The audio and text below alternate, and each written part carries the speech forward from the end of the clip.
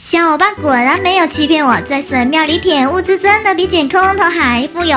小弟，你之后要是有见到这样的建筑，可千万别独吞哦。以后的事情以后再说，眼前亏不能白吃，快分我一半。毕竟那些陷阱都是我中招的。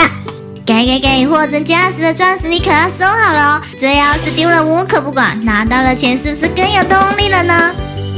嗯，有动力就对了，赶紧跟我一起进去清理神庙吧！也不知道那条蛇多久没洗澡了，细菌有多少取决于它的胃有多重。这下你知道它有多脏了吧？到时候可别自己还没适应病毒就先适应我们了，快跟我走吧！哎呦，突然感觉浑身好难受，肯定是被蚁蛇身的细菌感染了。打扫这个重大的任务就交给姐姐你了。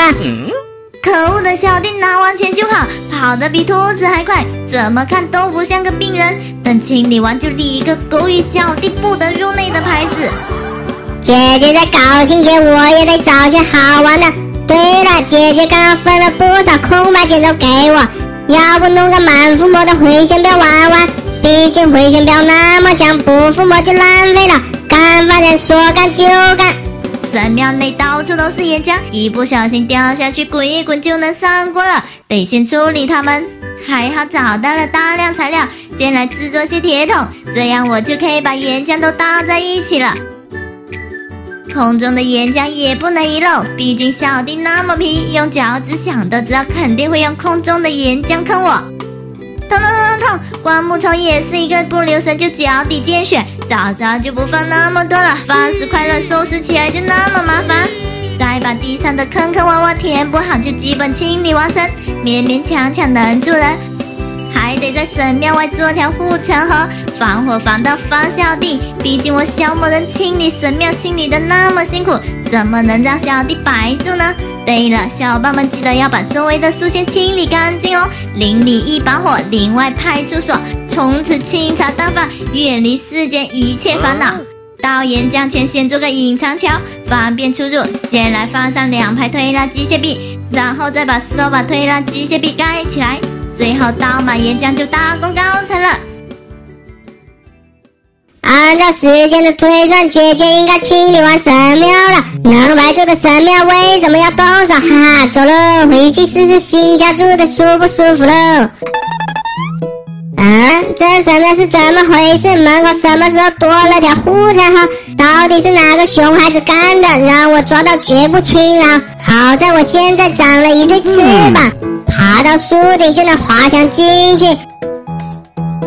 我是一只小小小小小鸟，早就防你这招了。人形防空系统启动，姐姐你想干嘛？快住手！目标成功击落。姐姐你不讲武德，说好的一起霸占。呸！继承神庙，现在却一个人独占。此河是我灌，此桥是我建，想要进来当然要付出代价啦，不然我辛辛苦苦清理干净，你就来占便宜，哪有这样的好事啊？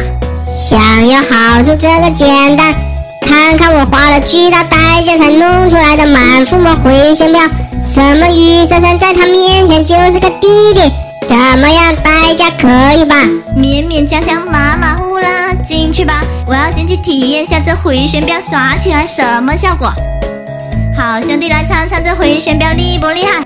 我能拒绝吗？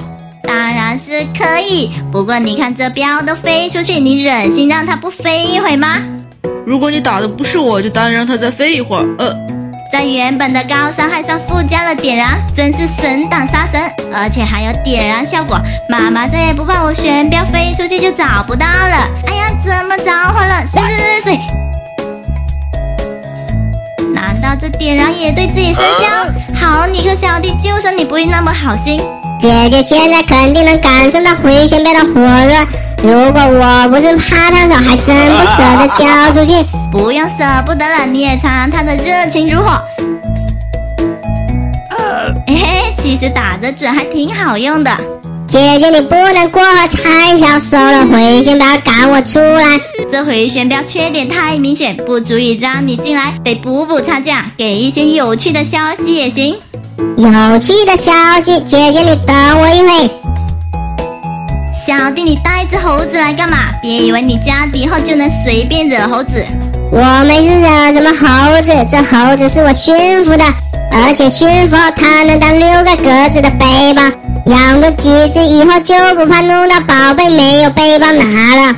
嗯，听起来还不错。行行，你进来吧。